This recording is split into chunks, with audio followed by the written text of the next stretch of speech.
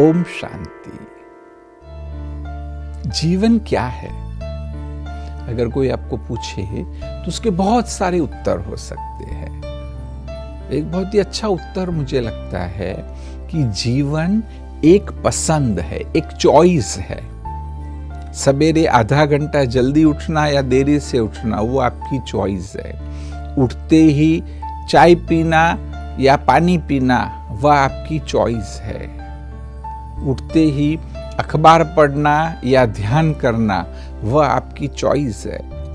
स्नान करते समय अच्छे से स्नान करना या जल्दी जल्दी स्नान करना, वह आपकी चॉइस है। कोई भी काम कर रहे, उमंग उत्साह से करना या ऐसे ही करना, वह आपकी चॉइस है। तो हर पल हमें पसंद करना होता है और विवेकशील व्यक्ति प्रज्ञावान व्यक्ति वही है कि जो उसके लिए सर्वांगीण रूप से अच्छा है, उसी को चूज़ करता है और उसी अनुसार सोचता है, उसी अनुसार निर्णय लेता है, वैसे ही वह कर्म करता है। इसलिए बस हर पल यह पक्का करिए कि मेरे पास कौन सी कौन सी चॉइस है और उसमें से वैसी चॉइस कि जो मुझे जीवन में आगे बढ़ाएगी। हो सकता है कि उसमें पल भर के लिए आनंद कम भी आए।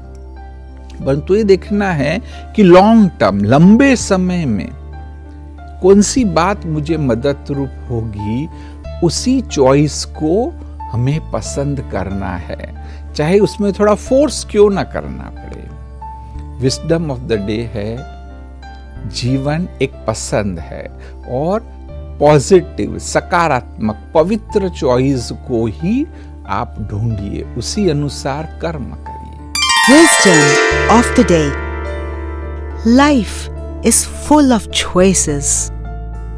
It depends upon us to make the best choices. So utilize your wisdom to make choices that will produce positive results.